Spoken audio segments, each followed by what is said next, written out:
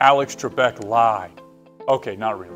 But in all reality, when he would go on the commercials and explain the 995 rate lock, guaranteed acceptance, there were a lot of variables that people weren't made aware of through the commercial.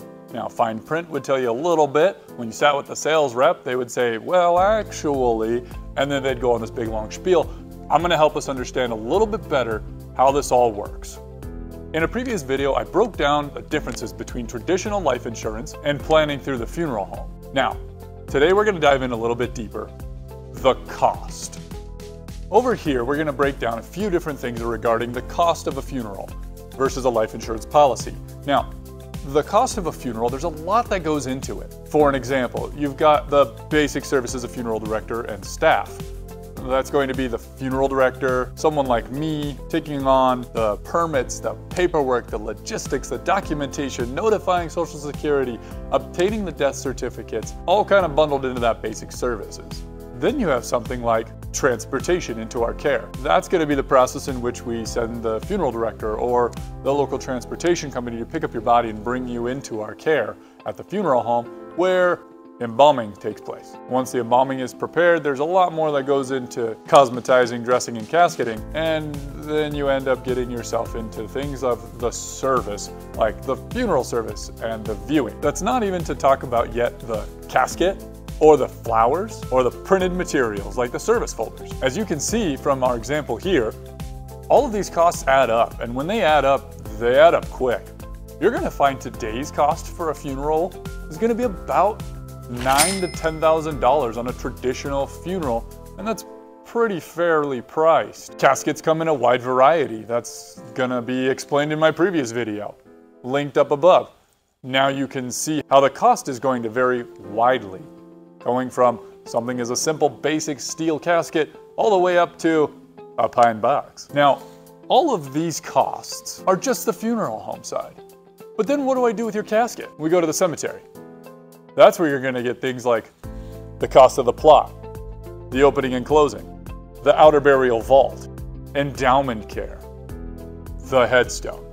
All of those costs add up to be a pretty significant amount as well. Now, since we're on the topic of life insurance and pricing and how this all works and what does it all mean, when you have a pre-planned policy to the funeral home, these costs are all going to be locked.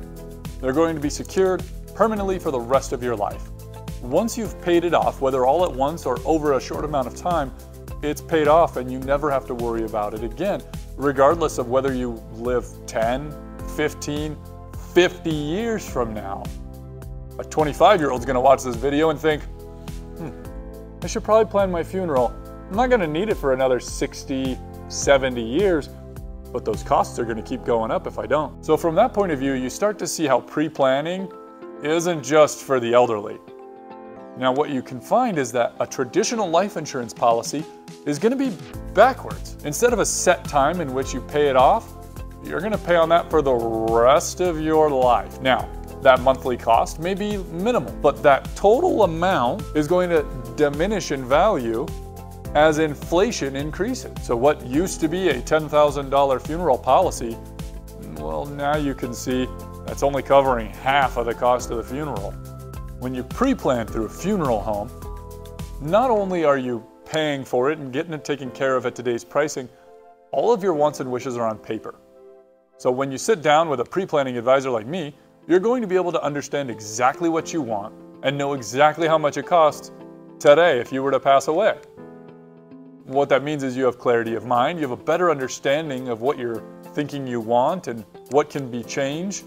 And then when the time comes that you inevitably pass away, your family really doesn't have to make a whole lot of decisions outside of maybe the time and day in which they want to service because unfortunately we can't plan that well.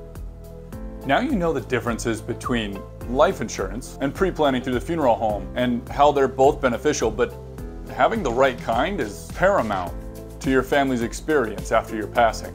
Don't forget to subscribe.